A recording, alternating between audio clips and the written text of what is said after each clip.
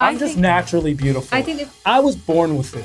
I it's think- not Maybelline. On this episode of the FAQs, your favorite YouTubers are answering your questions about beauty hacks.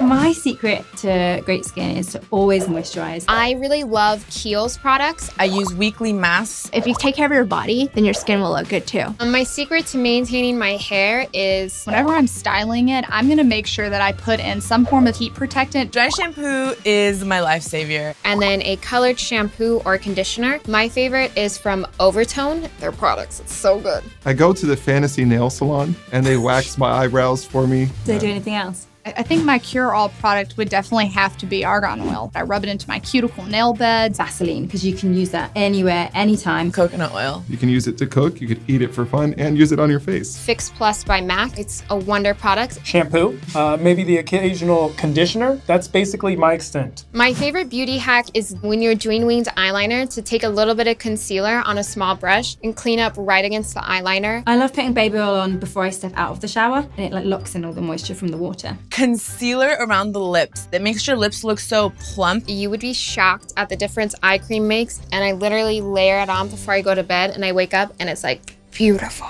I've heard using hemorrhoid cream underneath your eyes gets rid of bags. Of hickeys too. Someone put cat litter on their face once. Putting beer in your hair. People using raw eggs as shampoo. Snail eye cream, they have snail face mask. Peanut butter as shaving cream. I am not going to waste good peanut butter. Avocado is good to put on your face. And It's it's, good also good in a burrito. Oh, I love in burrito. If it makes me beautiful, I'm trying it. Now it's time for Facts Us Anything. I'm just starting to wear makeup, but makeup is so expensive. How do I know what's worth spending money on? Do you have any low cost favorite products? Girl, I feel you.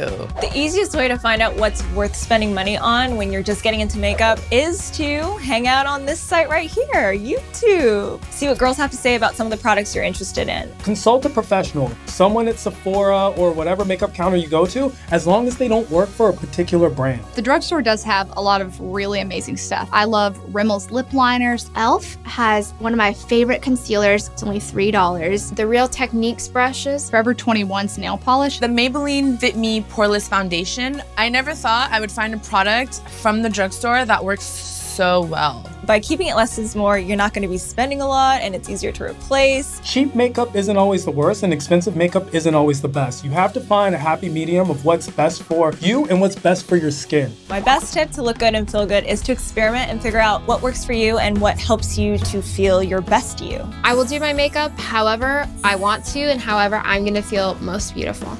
For more, FAQs. Subscribe here. look, look, this is very easy. You know you want to. All you know gotta do is click. to. Just click, like, subscribe. like.